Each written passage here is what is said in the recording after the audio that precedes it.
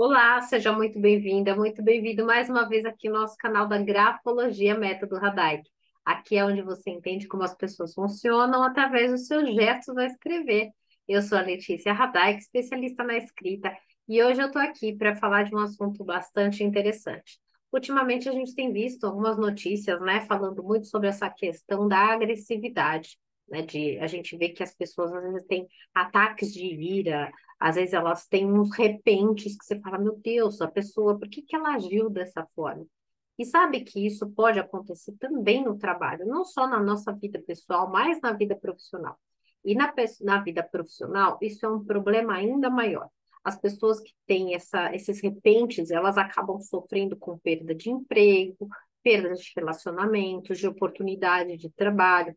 E a própria empresa, quando contrata essas pessoas que têm essas é, personalidades, ela também tem uma dificuldade, tendo que mandar a pessoa embora, acaba perdendo clientes. Então, esse comportamento ele pode ser muito nocivo, né? Tanto para quem vive, o quanto para a pessoa que é, tem convivência, né?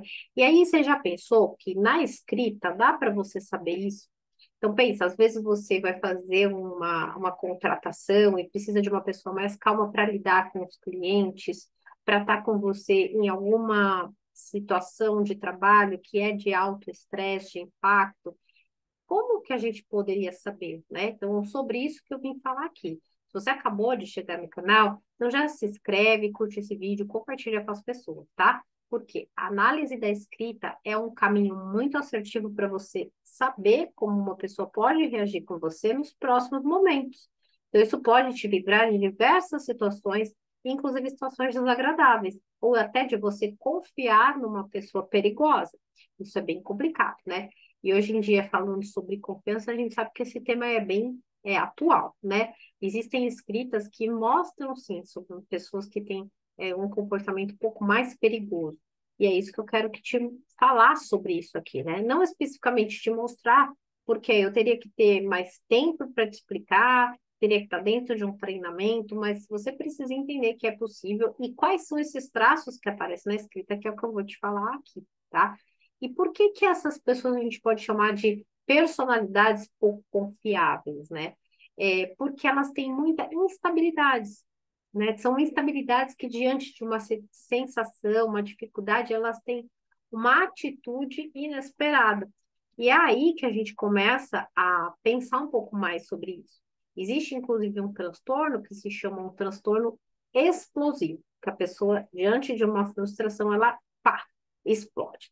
E aí essas pessoas têm uma manifestação do sentimento dela da raiva para fora né? É uma manifestação impulsiva, como se aquilo fosse descarregar nos outros. E existem pessoas que também têm essa agressividade, só que ela é mais contida.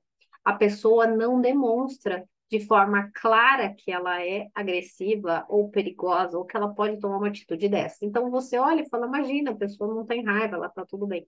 Mas quando você analisa a escrita, você identifica traços que falam de uma raiva reprimida. E não tem nada pior do que você reprimir um sentimento. Quando a gente segura, segura e reprime, sabe o que acontece? Na hora que explodir, vai para os dedos, né? Então, é, a gente tem que estar tá atento a esses tipos de traços. Especialmente se nós estamos falando de um trabalho, uma, uma questão de recursos humanos, de contratar, recrutar, né? Principalmente se a gente, por exemplo, está falando de um histórico de familiares, onde tem muitos abusos, em geral, as pessoas que sofrem abusos acabam procurando personalidades mais abusadoras ou personalidades agressivas, né? É, vamos supor que às vezes você também pode pensar em colocar um cuidador para uma babá, ou um cuidador de algum idoso, né, que vai cuidar do seu pai, da sua mãe, ou de um filho, né? E essas pessoas não parecem, às vezes, que são agressivas. Então, quando elas se sentem muito é, opressivas ou oprimidas, elas podem, de repente, levar um comportamento bastante exagerado, né? Sem contar em, em algumas né, personalidades que são mais criminais, e aí aquele comportamento já vem, às vezes, desde um adolescente, né? Você pode perceber na escrita de um, até de crianças, uma agressividade que já vem, já está ali no, no DNA, no programa dela, né? E aí, é, esses transtornos, eles né, afet vão afetar o movimento dessa pessoa no mundo. E, claro, se vai afetar a relação, ela na escrita aparece. Em geral, as escritas com agressividade contida ou que não explode, a letra A, ao invés de ser A redondinha, vai ser uma A triangular, uma A em forma de um triângulo, né? Então, isso fala que dentro da pessoa existe uma agressividade e essa agressividade está contida. Isso é ruim? Não. Mas se houverem demais traços onde mostram que esse, é, essa pressão, por exemplo, pode aumentar e isso explodir, aí sim se torna, né, um comportamento mais complicado, né? O que, os traços mais difíceis numa pessoa é, que tem uma, uma agressividade perigosa, vamos falar assim, seriam quando esses traços são mais rápidos e impulsivos. Aí a gente já vai falar de uma personalidade que a qualquer é, a, a conflito, a qualquer atrito, ela vai explodir, né? E claro que a gente está falando de um impulso maior, ou seja, umas pessoas mais impulsivas. E essas escritas têm uma tendência a serem mais pontiagudas também, com mais finais em forma de ângulos, para cima, para direita, porque elas são ágeis, né? E aí isso sugere umas dificuldades de aceitar pontos de vista diferentes do que a pessoa tem. Então, sabe aquela pessoa que quer tudo do jeito dela? Que o que ela falou é lei e acabou e ponto final? Então, isso vai falar desses, dessas letras As, mais em forminha de triângulo, de impulsos muito rápidos, né? É, pode ser uma pessoa também é, defensiva, resistente, e até se tornar um pouco vingativo ou vingativa. Então, essa atitude de oposição, de impor regras, sabe meio que uma, uma, uma pessoa muito mandona, muito de que é tem que ser dessa maneira, só que na hora que você às vezes está se relacionando, você nem vai perceber. Isso com o tempo pode ser que apareça, né? A gente viu um caso na mídia há pouco tempo, no caso da Ana Hickman e o marido, né? Então, muitas vezes as pessoas estão falando ali, nossa, esse homem, ele é agressivo, esse homem e não sei o quê. Eu examinei, eu vi a letra, né, a assinatura dele, mas eu não identifiquei é, tão fortemente esses traços. Sim, existem impulsos, existe instabilidade emocional nele, sim, né? Mas é, não como eu imaginava que eu iria encontrar. Quanto mais o traço for anguloso, mais esse grafismo, essa letra, esses traços vão mostrar impulsividade, tensão interna, a, a aflição, combatividade. O, a pessoa mais impaciente e reativa, ela não consegue tolerar as coisas que, que acabam deixando ela meio mal, sabe?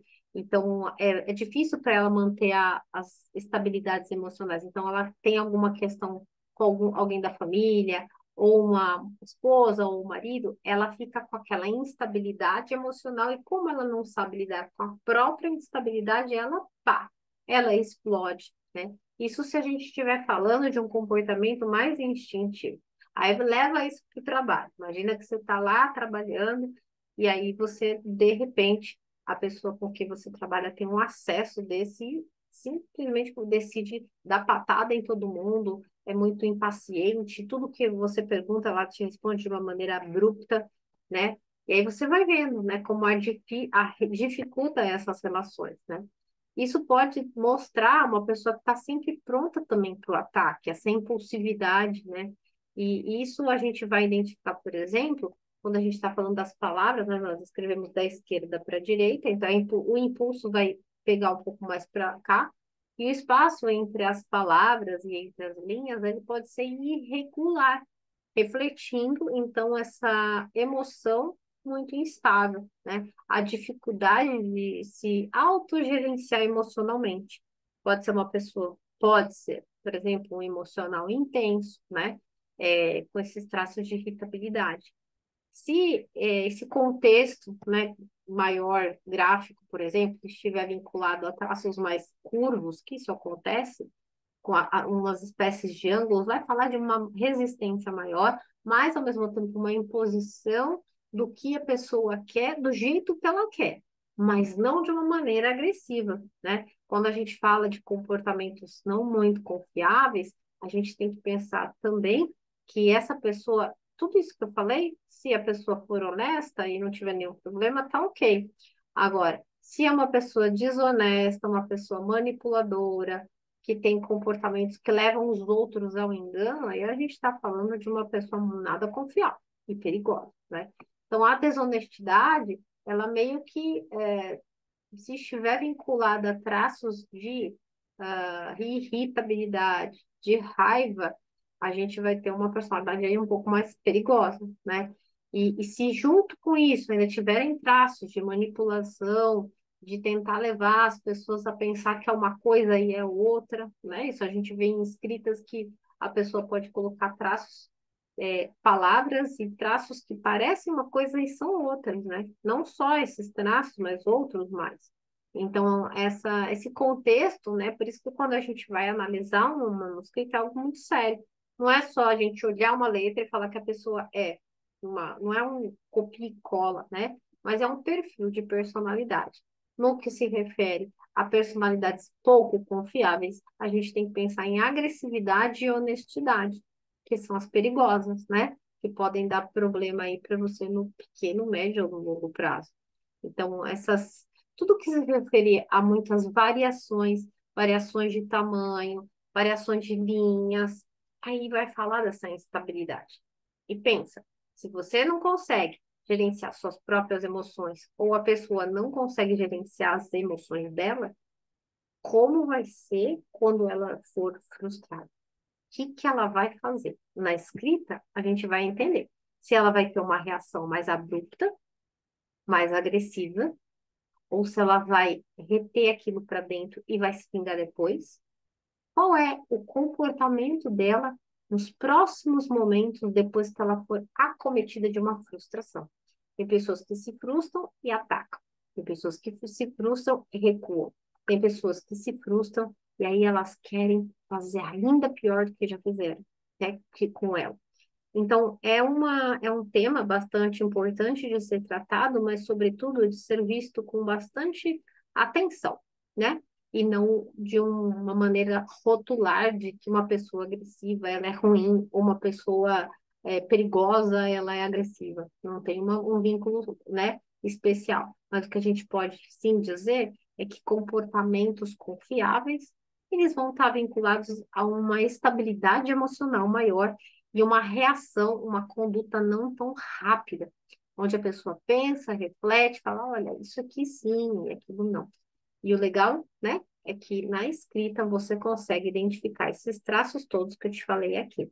Espero ter contribuído aí para você ampliar o teu olhar e saber que existe um caminho para você poder transformar a sua história, a sua vida, porque onde há um caminho, há uma vontade, né? E aonde tem vontade, com certeza tem a sua chance de se transformar. Espero que você tenha gostado aqui do nosso bate-papo de hoje e a gente se vê. Até já!